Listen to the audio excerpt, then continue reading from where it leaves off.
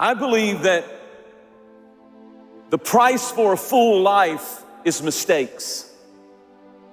Mistakes are the price for a full life that you have to pay if you learn from them.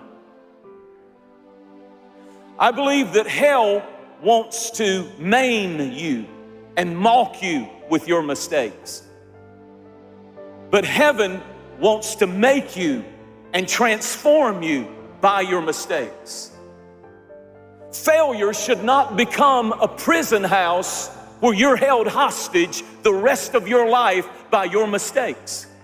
That's not God's voice. That's not God's will. That's not God's plan for you. The enemy wants us to think that our failure is final because I've seen us go through things where the enemy tried to take us out by a failure or a mistake or a terrible choice.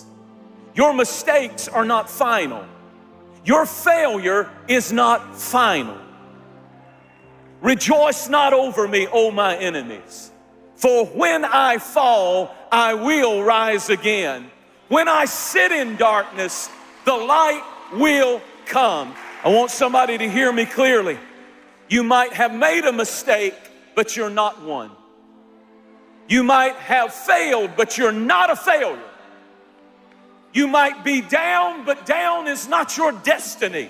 There is a resurrection coming to your dream, to your life, to your call, to your purpose. You might have fallen and you might have failed and you might have made a mistake, but you are not a mistake. And God will never define you by the worst mistake and choice you made in life. Critics will, attackers will, haters will, people will, but God will never define you by your worst mistake. And I need you to thank Him that great is His mercy towards us. I love the story of Simon Peter. I love the fact that God loved him after he messed up. That's why when the angel appeared at the tomb, the angel said, Jesus wants me to specifically name one of the, disciples by name. He said, Go tell my disciples and Simon Peter to meet me in the upper room. The same guy who denied Christ the same guy who lied, the same guy who cut a man and got violent, the same guy who failed and failed miserably.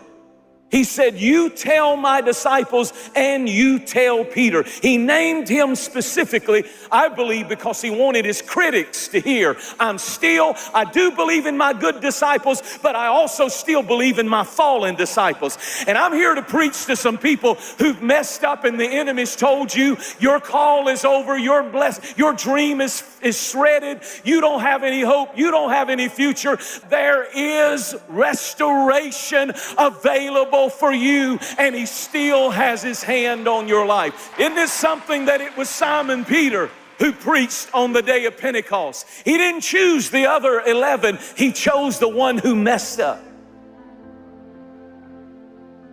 And that's what I've come to prophesy and preach to tonight that some of you have fallen, some of you did it, some of you messed up, but the Lord sent me to tell you there's still life in your dream, there's still life in your call, there's still life in your purpose, there's still life in what God has called you to do.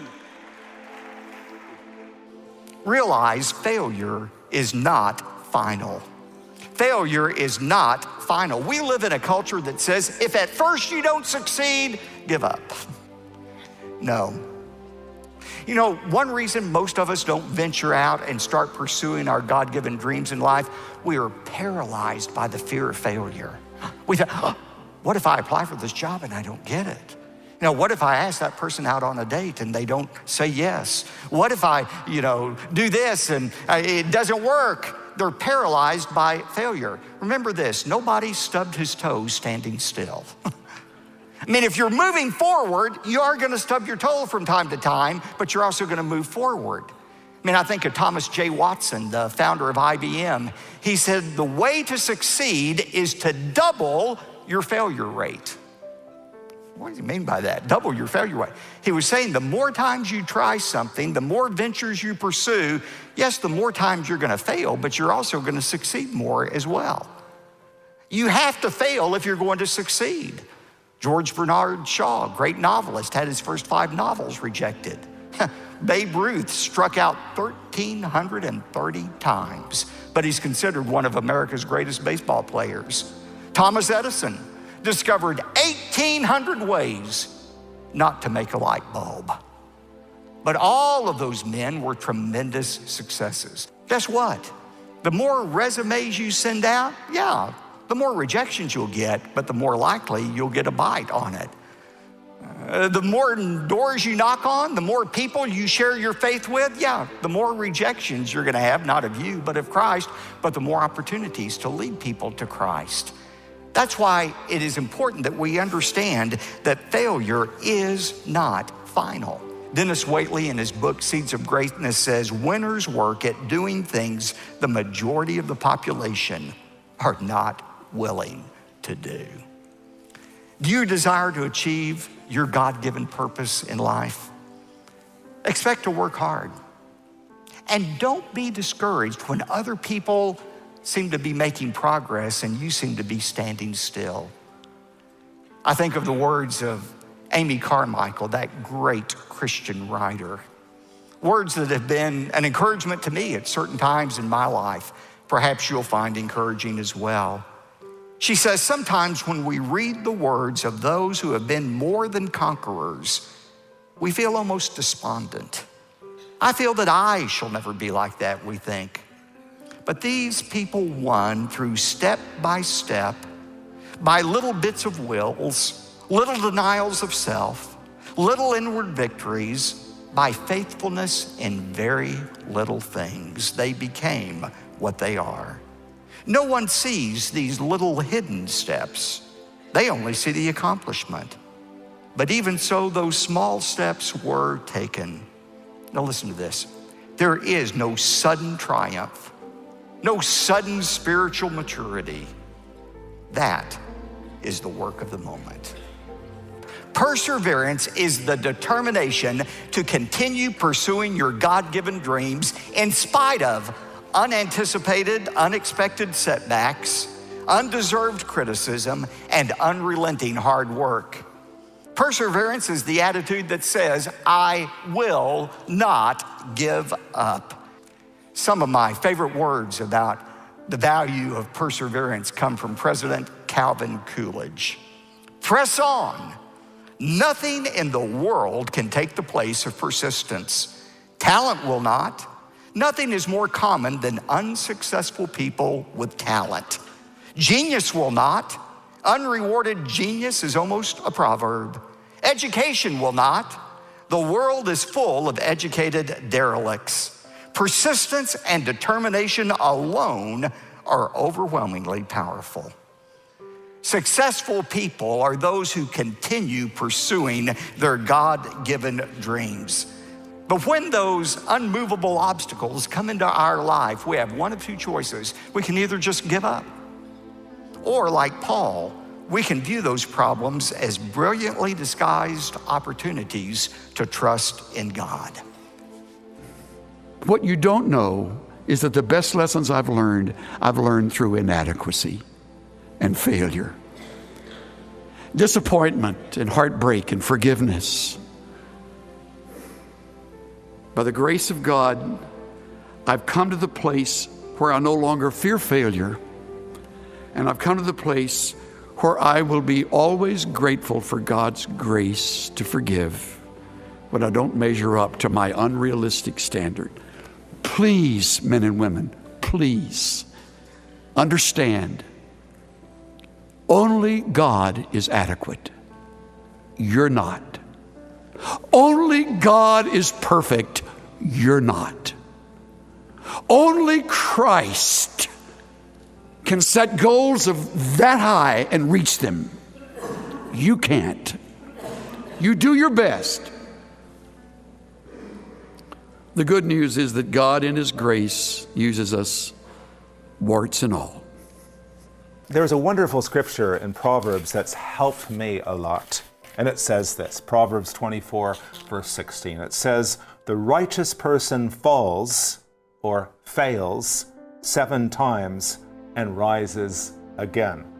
The perfect, the, the person that's close to God, the, the righteous person, the holy person, you know, falls, fails seven times. That's a multiplicity of times, but he rises again. In other words, it's okay to fail. It's okay to, to have this fear of failure, but you know, we will rise again. Imagine if it said the stupid person or the idiot falls seven times. Okay, it doesn't say that. It says the holy person, the righteous person, the person that's close to God falls or fails seven times but rises again. So that's a that's a wonderful promise. So maybe you've fallen down. Maybe you're not happy where you are in life. Maybe you have all of these regrets and say, oh, yes, I, I deserve it. You know, look, I'm in this dead end life. Nothing's working out for me. But it says that you will rise again. Okay? In fact, I think our dreams are always on the other side of our failures. And Michael Jordan, he says this I've missed more than 9,000 shots in my career. I've lost almost 300 games. 26 times I've been trusted to take the game winning shot, and I missed. I failed over and over and over again in my life, and that is why I succeed. There's failure everywhere. There's behavioral failure, moral failure. There's failure of making promises to yourself and then breaking them. There's just failure everywhere. What do you do when you're then hit with failure? Many people think that once you become a Christian, you never experience failure, but that's not true at all. Some of the people who are closest to God have experienced failure, and what you do with that failure determines the kind of life that you're going to live. Many people who experience failure, Satan, the devil that Jesus talks about, uses the failure to bring condemnation and guilt, bothers them at night when they try to sleep. And the next thing you know, they have a heavy spirit. Many times their heavy spirit leads to bitterness, cynicism, and they quit. They give up life. They're walking, but they're not alive any longer. They're making a living, going to their job, but that failure haunts them, letting down God or their family, their friends. And other people have the same failure, or worse failure, and instead of it burying them, they turn out to become stronger through their failure. Just like a bone that's broken, they say when it's healed, that bone is stronger than before you break it. The Christian life is made up of 10,000 fresh new beginnings. Today, you can have a new beginning with God. He doesn't throw you away because you messed up. Can we all say amen to that? God is a God of a second chance. Forget it. I've heard people, God is the God of a second chance. That's ridiculous to me. How about God is the God of the two millionth chance? You're going to make it. Just start a new, fresh with God today. You can always have a new beginning with God. If you just come to Him, He will help you. Jesus is love. Even when our love breaks down, He picks us up and you fail the Lord, remember, His love hasn't changed. He loves you. Don't believe what the devil says. He loves you. Don't believe what some voice in your mind says. He loves you. He loves you. God loves you.